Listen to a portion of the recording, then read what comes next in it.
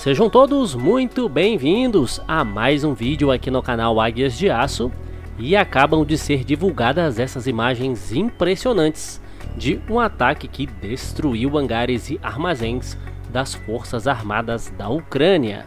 Isso ocorreu na região de Kherson e os relatos são de que jatos Su-34 efetuaram esse ataque com o uso de bombas guiadas de precisão.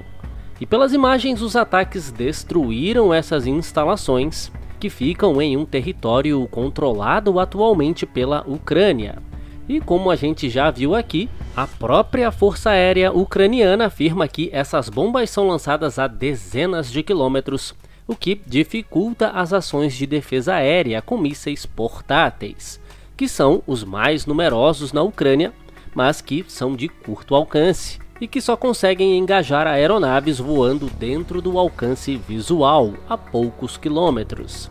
E sistemas antiaéreos de longo alcance estão cada vez mais escassos na Ucrânia e não à toa foram cedidos os sistemas norte-americanos Patriot para defender a capital.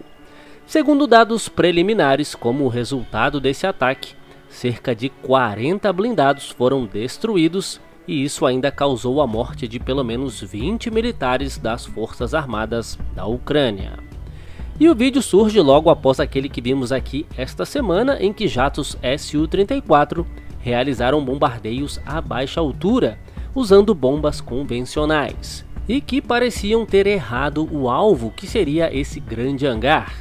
E a gente até tinha visto no vídeo que havia uma certa dúvida quanto a isso, e agora surgem relatos de que, na verdade, eles estariam atacando insurgentes ucranianos, já que esse local fica a 10 quilômetros dentro do território russo. Mas a gente segue de olho nesse caso e se surgirem novas informações a respeito, a gente divulga aqui para vocês ou lá no nosso Instagram. E como a gente sempre diz aqui, o nosso compromisso é somente com a verdade. Bom pessoal, a gente segue de olho nos acontecimentos da aviação militar e quaisquer novidades a gente divulga aqui para vocês. E se você ainda não conhece o nosso novo canal, o Aeromil, o link está ali na descrição. E para quem gosta de miniaturas de aeronaves militares de qualidade, conheça também a nossa loja.